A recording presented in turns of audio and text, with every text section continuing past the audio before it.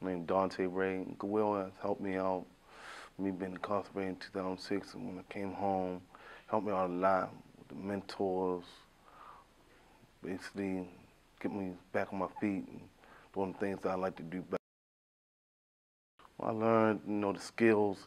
It's been what, 13 going on 14 years since I even was working. So the skills they they taught me helped me out a lot. Me getting back on my feet because being so I was partially paralyzed on my right side. Basically, they helped they helped me out.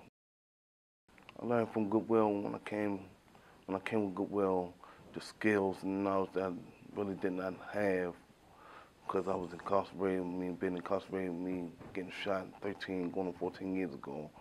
So the skills that I didn't know, I have learned, has helped me a lot.